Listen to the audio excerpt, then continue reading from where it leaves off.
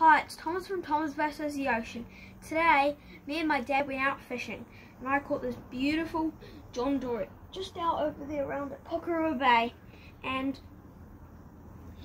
the John Dory, I'm going to tell you all about it, and how it, how it ambushes its prey is it, it stays in one place when it sees a fish, and then it waits, waits, and then Howland pulls its telescopic mouth out and chomps it down.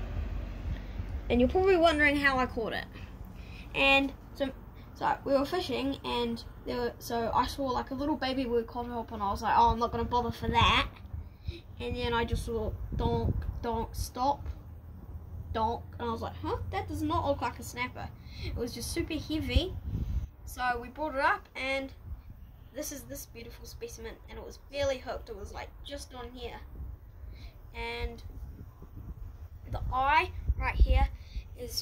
so when the predators see it, it looks like a giant eye and it scares them away.